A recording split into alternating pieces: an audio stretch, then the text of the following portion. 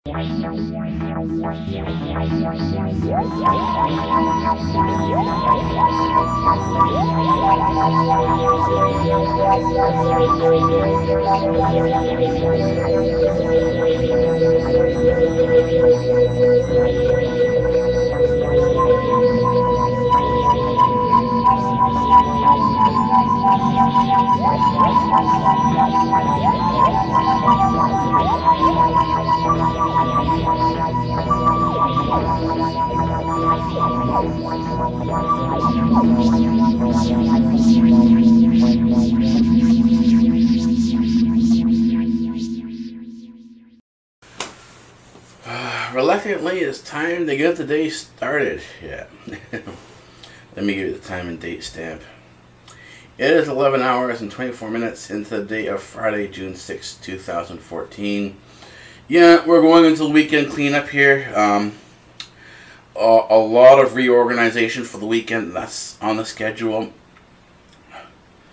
A lot of work's been done, so that means a lot of reorganization work has to get done this weekend. That's primarily the goal. So, uh, that being said, that's all there is really to say today. It's, it's a short, uh, short discussion. Uh, primarily because a large chunk of our discussion has moved off into um, uh, Insta vlogs. So, alright.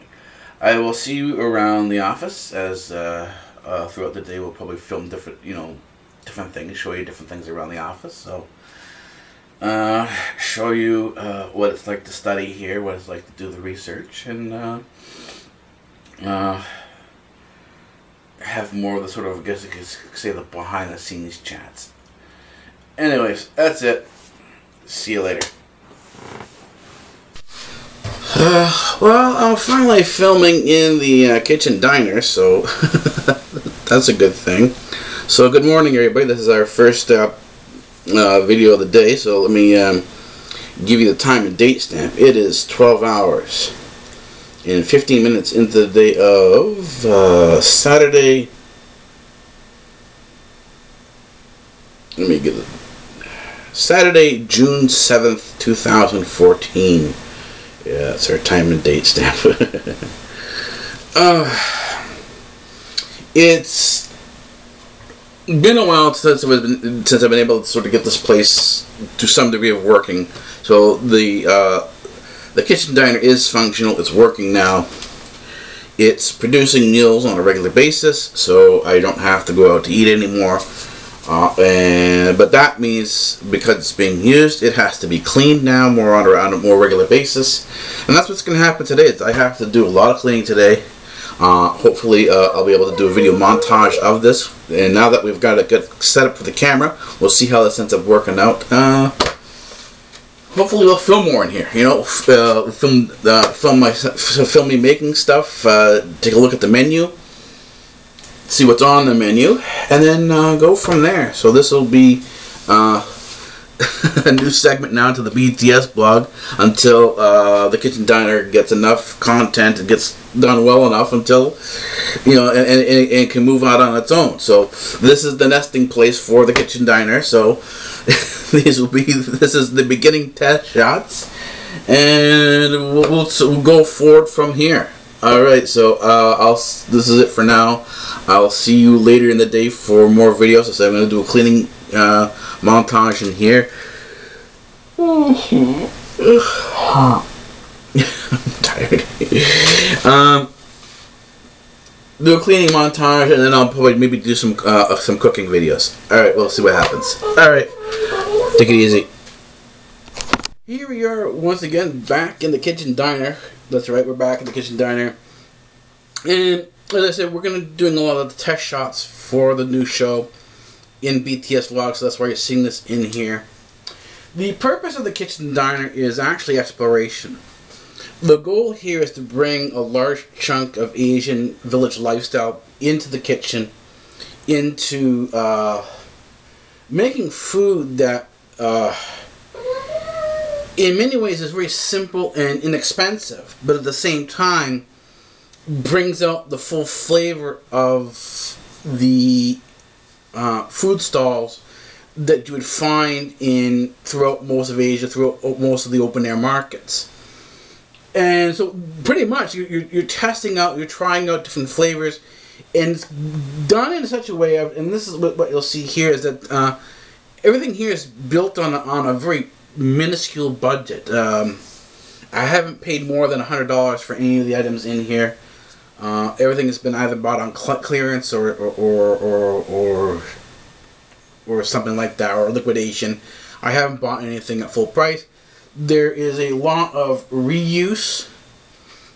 For an example, for example, here, let me just sort of uh, take this out. Uh, I buy the I used to buy these jellies, these uh, uh, jellies from um, my Asian store that I that I go to is called TNT, and I reuse it. So there's a lot of reuse in here, all of the various different um,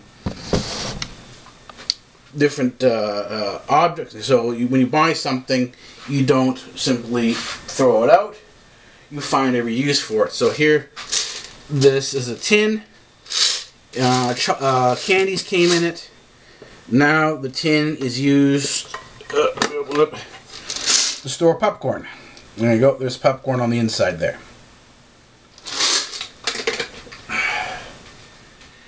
And here's a cool thing with a little with the popcorn here.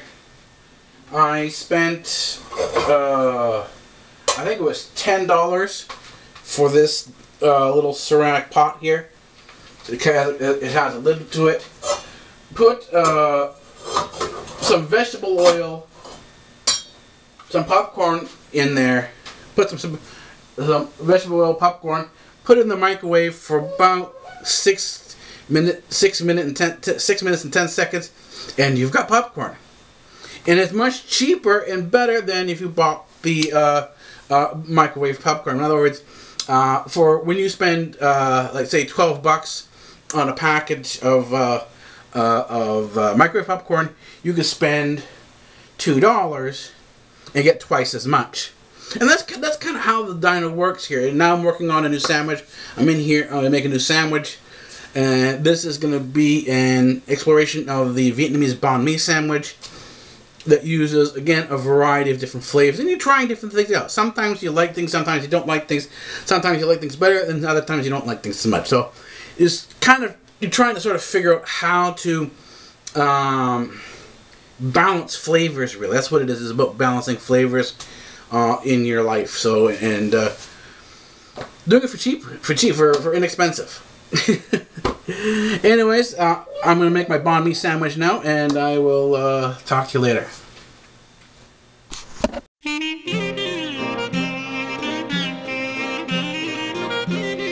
Be prepared to have what you know challenged by Cyborg Alpha TV Network.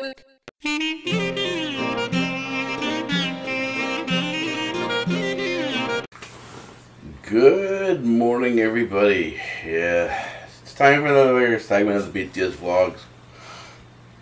I'm trying to be consistent with this and uh, continue on.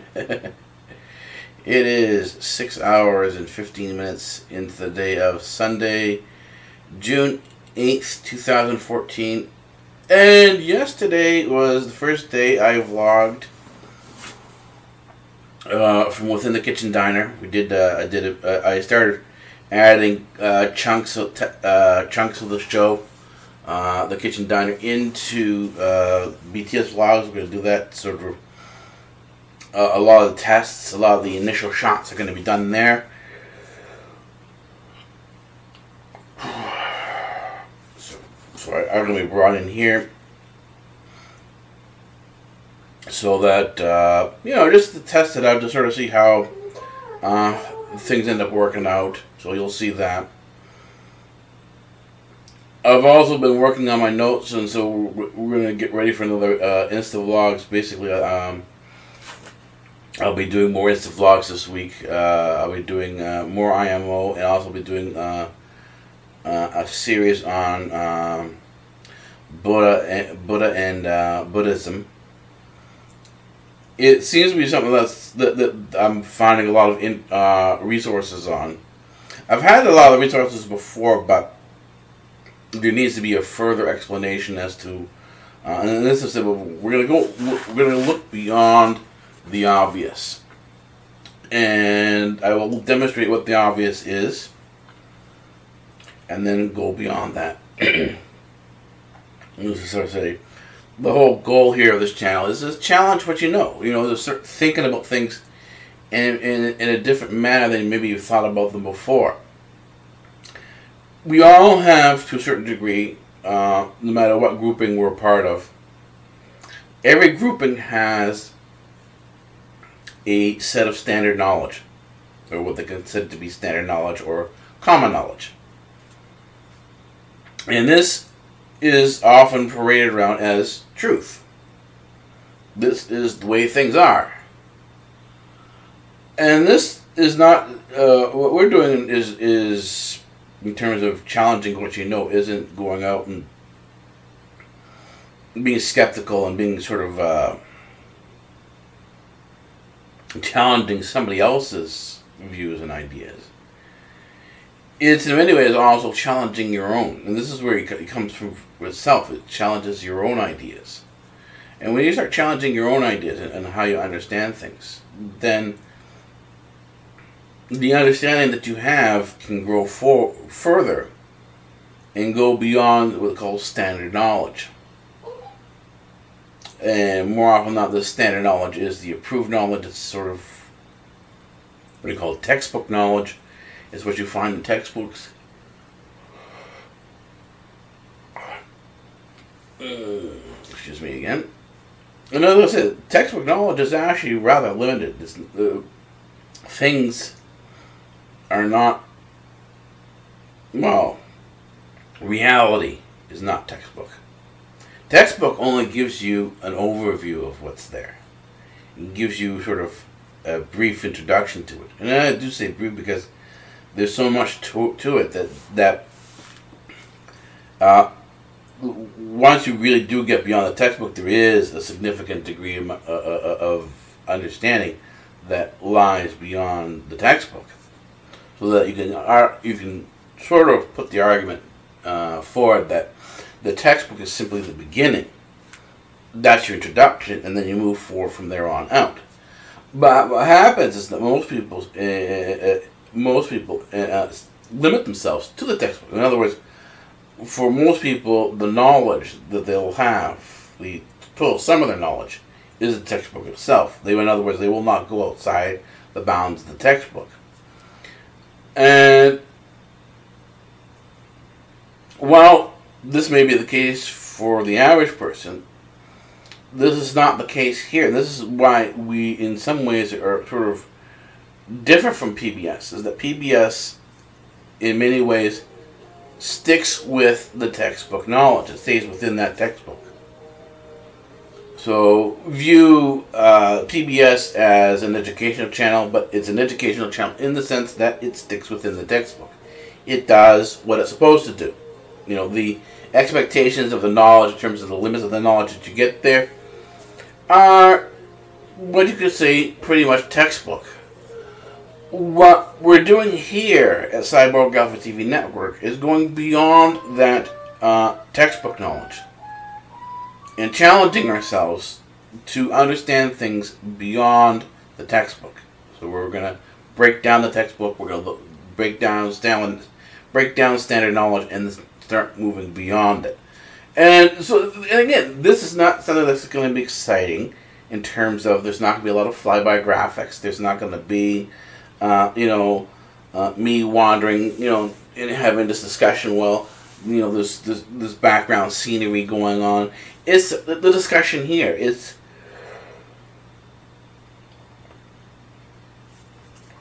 in many cases my experience going beyond that, and then you can sort of take my experience not as a guru, but as an example of one, uh, uh, as an example of one means of going beyond the textbook and then use it as a guide to see what you can do.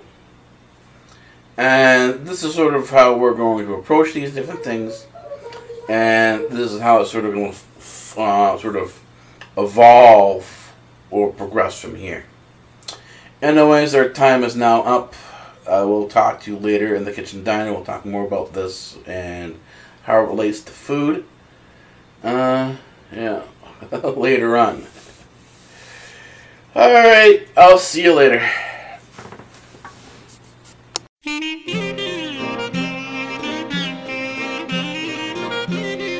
Be prepared to have what you know. Challenge by Cyborg Alpha TV Network.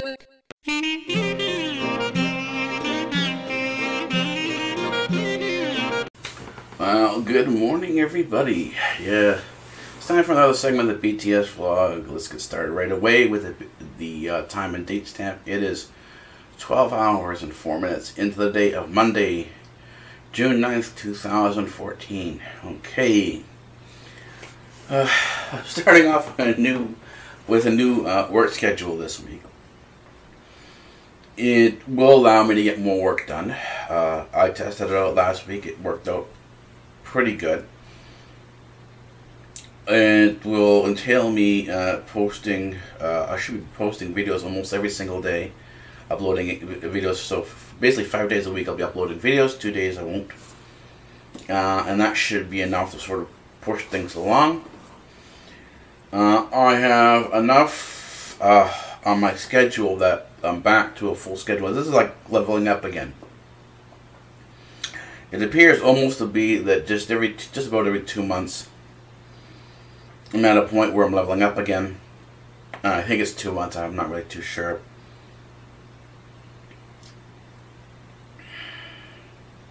But I've sort of in a position where I've kind of. Um, this is what happened over the weekend. I lost my spatial awareness, and what I mean by spatial awareness. And sometimes you get into a point of fatigue that um, when you are, in terms of uh, what day it is and what time it is, is lost. And I mean, your body does know when it's nighttime. It does know when it's tired. It does know when it's you know supposed to be sleeping or awake. Normally and typically, but when you get into a sleep deprived mode, then that kind of disappears on you. It doesn't that doesn't happen. You kind of lose that sense of uh, awareness, and that's kind of where I was on over, over the weekend. Uh, but I did uh, catch up on my sleep on sun on Sunday. So Sunday I slept some extra. I actually did some extra sleeping on Saturday too, but uh, it wasn't enough to resolve uh,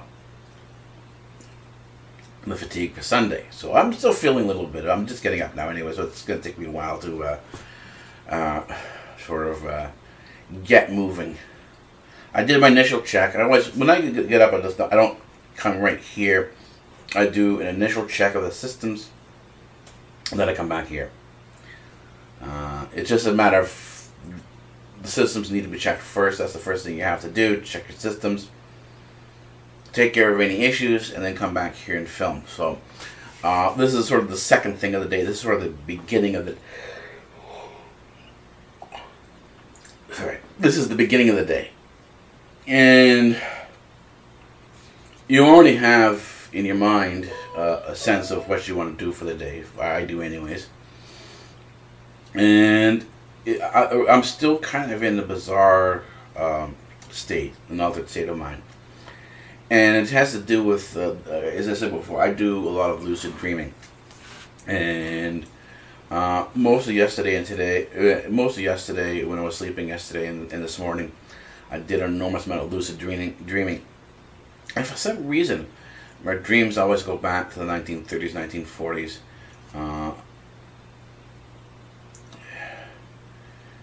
And it, it, it typically your dreams are supposed to be have details of things that you've already you've already seen in them.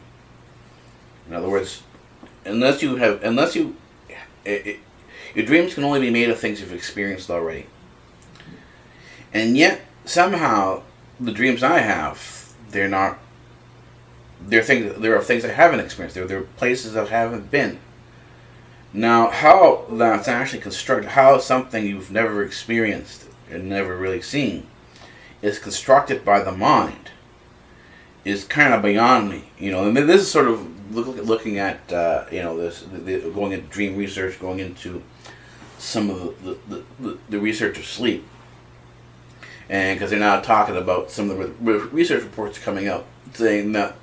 Uh, you know, a short period of time, they're going to be able to start, you know, influencing dreams. Well, you know, with with with the with uh, electric uh, with electric fields. But the thing is, they've been working on that for a long time. This this is something that isn't new. They've been thinking that you can uh, control dreams for a long time with electric fields, and they've been sort of fiddling fiddling with this on and off since the 1900s. And they really haven't gotten anywhere with it. They've gotten bits and pieces, but uh, anyways, the the standard scientific thought is that uh, dreams are all part of you, that not, there's nothing more beyond you, and blah, blah, blah, blah. You know, that's the whole spiel that, you know, we are simply a uh, chaotic uh, order of, chaotic order or chaotic accident uh, of the cosmos, and uh, we are all, all our chemical and electrical reactions. So, if that's the case, if we are simply the sum total of what we are, and a sum total of experiences, then why, in, in cases like this, when you have these lucid dreams, uh, and for my case, in, in, in particularly my case, why am I dreaming of things? Why do I see and experience things uh, that I've never experienced before? In other words, if I'm, I'm not talking about unusual things. I'm talking about things like beds, closets, uh, rooms, uh, I mean, some of it, some of the places, the, the, decor is, is is rather you know vivid. You can sort of see you know that this isn't a modern room. This is the the, the, the you know, furniture could easily be anywhere from, from 1930 to to 1960s. Um, the closets are all wood. Uh, they're old uh, suitcases. Suitcases used to be made out of card, cardboard, so there's uh, suitcases made out of cardboard. Uh, I mean, in other words, there's a lot of old stuff in there. There's trunks and, you know, it, it, it, and there's enough detail that you can sort of say, wait a minute here. None of the stuff I've ever encountered, and it becomes bizarre because uh, you have never uh, seen these things before. There's something new. You're exploring something new. Particularly if you're a person who likes to explore, you know, who likes to see something new. Then you know this is yay. This is something that's that's cool. So you pay attention to it. It draws your attention. And so if this, you know, if, if you are the sum total of what you are, you know, of, of your experiences and, and, and your, your chemical experiences, then why does this exist? Why outside of, you know, and this is where you start start saying, well, maybe there's something more more beyond more than what they're saying. Maybe there's something more beyond the textbook. Maybe there's something more to life than we're being led on, that we're being uh, led to understand. So, anyways, that's kind of the uh, the thoughts I'm being let off with uh, for the week. We'll see how this shapes up for IMO in, in, in the Insta vlogs for the week. Uh, I'll bring my thoughts out there in more detail, uh, you know, there. Anyways, uh, I will see you uh, later on today. All right, bye.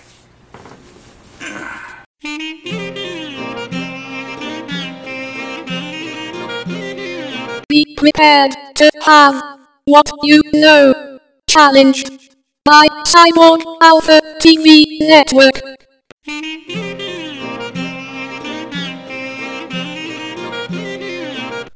Good morning, everybody. I'm coming from coming. I'm coming here to you. I'm coming to you from the um, kitchen diner. So good morning. I'm not in the back room. I've got this uh, now set up so that it works uh, very well. Let me give you the time and date stamp. It is 14 hours. And, uh, yeah, it is 14 hours into the day of uh, Tuesday, June 10th, 2014. And the reason why I'm coming to you from here has simply to do with the fact well, I have one more thing to do. I am back. well, interruptions are going to happen, so that's kind of the way they go. There's not really much you can do about it, so. Anyways, I'm in the kitchen diner. We're going to be starting to film here more often because we are eventually moving towards our first episode of the kitchen diner. I'm going to try this out. One of the things I'm working on uh, this week, next actually the next couple weeks, I just started yesterday. Uh, I've got my wok behind me and get it all set up, and I'm gonna try and, and replicate a lot of the street food uh, that I've been seeing. I've been getting a lot of these uh, food documentaries uh, from China, from uh, from Asia, and there are a lot on the street vendors. And I looked at what they do, what they were doing, and what I'm going to try to do is try to replicate what they did. And I think it's a lot I learned from my grandmothers and from my uh, my aunts and uh, the other relatives who cook. It's not about the ingredients you put in. There's a technique. So if you watch the shows and you watch them again and again, you know, record them so you can watch them again and again, you can see the technique. You can start learning the techniques of how they do what they do. And then from there, you have to go. You go from learning simple things like sauces, vinegars, different flavors, uh, um, how flavors combine. If you're going to test out new flavors, how to put a new flavor in there, just a little bit to sort of see if you like it. If you don't like it, uh, you know, in other words, you want to sort of use the kitchen in, in, in a very experimental manner, uh, trying to sort of find a uh, direction, if you will. So, that being said, that's what we're going to do here. We're going to sort of try to replicate um, everything from breakfast to dinner uh, here on on the wok. Try to do everything here, and we're also going to look at the costs. Again because we, want to keep it cheap as street food. And this is it. If you, if, if you can learn this stuff, bring a lot of the village ideas, which are very inexpensive, into a city environment, you can reduce the cost of living significantly, and you're and the, the quality of the food that you're going to have is going to is going to go up. So in other words, this is something you can do at home. This is something if you don't mind spending the time, you can actually learn how to do this. And uh, instead of having your food costs go up, the food costs will go down, but the quality of the food of the food will go up. Anyways, that's it for now. I said we're gonna try to keep this uh, short, short. So on to the rest of the day. Alrighty, see you around.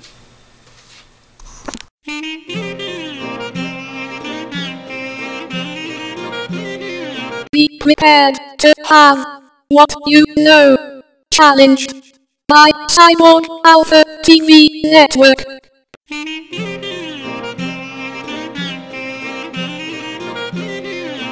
Well, it's Wednesday. Uh, it's about 2.30, so about 14 hours and 30 minutes into the day. I don't know what day this is. I know it's Wednesday, but uh, I think maybe June 11th to 12th. Not exactly sure. Uh, time for another walk. Going food shopping again, so... But I don't have that much to get. I just have a little bit to get. But uh, regardless of whether I have a lot or a little, half a walk to go get it. So this is gonna suffice for the uh, morning uh, BTS vlog in terms of the segment. I do, uh, I have been forgetting to do the evening. The last few days have been weird. Uh, I've been feeling really tired again. So I've been doing a lot of sleeping. But I've also been doing a lot of uh, uh, uh, the progress hasn't really slowed down that much because uh, my efficiency model that I use, the efficiency mode, uh, is good enough that uh, it allows me to keep moving forward. So I'm happy with that. So when I get back, I'll do the rest of the filming for the day. There are some new, if you look at the uh, YouTube channels, there's some new changes there. Uh, I'm, you know, fixing things up. The network mode is becoming more visible, so we're now operating a Cyborg Alpha TV network. Uh, uh, yeah. That's the way things go. Uh, anyways, uh, I'll talk to you maybe a little bit, get closer to uh, TNT, and if I have anything to say. Alright, take it easy. I was right, it is uh, June 11th, and uh, the receipt that I have from TNT shows that it's about uh, 3.46 in the afternoon, so that's uh, 15 hours and 46 minutes into the day of June, of Wednesday, June uh, 11th, 2014. So, yeah, I just finished uh, uh, food shopping. I'm now on my way back to the office. Then unpack and then sort of uh, schedule out the rest of the day because this is sort of the beginning of the day now. I haven't done any of the scheduling for the day. Uh, so that has to be done. And we'll see, you know, what's going to get done and what's not going to get done. uh, anyways, we're using the, uh, uh, uh, we're using the new system, the new upgrade again. Uh, things are, you know, always upgraded. You adjust things, and this is a new adjustment, so it gives me more capacity to do things. We'll see how this ends up working out. Uh, you know, uh, if it works out well enough, you'll see more of me. So, if you want that, all right. Anyways, I'll see you back at the office.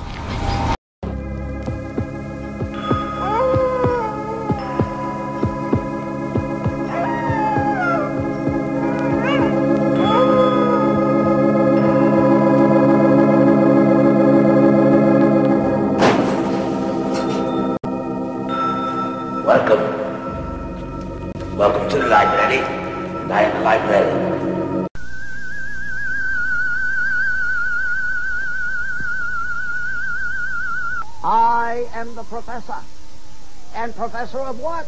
Professor of physics.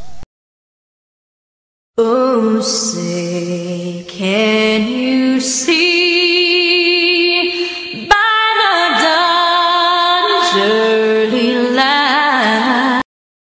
Free speech rules here at Democratic Earth.